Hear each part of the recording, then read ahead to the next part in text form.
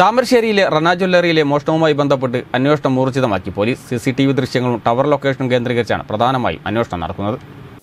Thamarassery police station സമീപത്തെ Rana gold ജുവല്ലറിയിൽ നിന്ന് അൻപത് പവനോളം സ്വർണം കവർന്ന സംഭവത്തിലാണ് പോലീസ് അന്വേഷണം ഊർജിതമാക്കിയത്. സി സി ടി വി ദൃശ്യങ്ങളും മൊബൈൽ ടവർ ലൊക്കേഷനും കേന്ദ്രീകരിച്ചാണ് അന്വേഷണം പുരോഗമിക്കുന്നത്.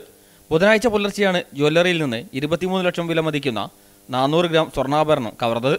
മോഷണ സംഘത്തെ എത്രയും പെട്ടെന്ന് പിടികൂടാൻ സംഭവസ്ഥലം സന്ദർശിച്ച Kozhikode rural S P doctor Aravind Sukumar അന്വേഷണ സംഘത്തോട് നിർദ്ദേശം നൽകി. മോഷ്ടാക്കൾ മുഖാവരണം ധരിച്ചതിനാൽ സി സി ടി വി ദൃശ്യങ്ങളിൽ നിന്ന് പ്രതികൾ തിരിച്ചറിയാൻ കഴിഞ്ഞിട്ടില്ല. കവർച്ചാ സംഘത്തിൽ മൂന്ന് പേരിൽ കൂടുതലുണ്ടോ എന്നും അന്വേഷിക്കുന്നുണ്ട്. രാത്രി പതിനൊന്നരയ്ക്ക് എത്തി മോഷണം നടത്തി പിറ്റേന്ന് പുലർച്ചെ അഞ്ചേകാലിനാണ് മൂന്നംഗ സംഘം മടങ്ങിയത്.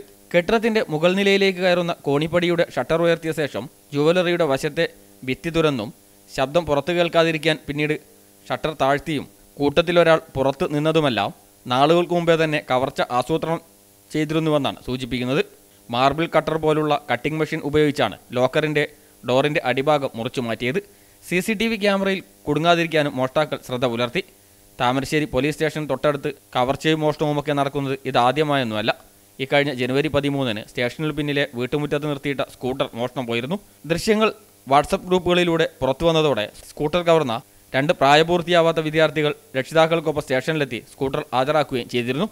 കഴിഞ്ഞ ജൂൺ ഇരുപതിന് പോലീസ് സ്റ്റേഷൻ തൊട്ടടുത്ത ജ്വല്ലറിക്ക് സമീപം നിർത്തിയിട്ട സ്കൂട്ടറുമായി ഒരു യുവാവ് കടന്നു കളയുകയും ചെയ്തിരുന്നു. സി സി ടി വി ദൃശ്യങ്ങൾ സാമൂഹ്യ മാധ്യമങ്ങളിലൂടെ പ്രചരിച്ചതോടെ പിറ്റേ ദിവസം സ്കൂട്ടർ ചുങ്കം ചെക്ക് പോസ്റ്റിന് സമീപം ഉപേക്ഷിച്ച് യുവാവ് തടിയൂരുകയായിരുന്നു. ജൂൺ പതിനഞ്ചിന് പുലർച്ചെ താമരശ്ശേരി പോലീസ് സ്റ്റേഷന്റെ തൊട്ടടുത്ത സ്വർണമൊരുക്കുന്ന സ്ഥാപനത്തിൽ നിന്ന് സ്വർണത്തരിയും മോഷണം പോയിരുന്നു. News bureau Thamarassery.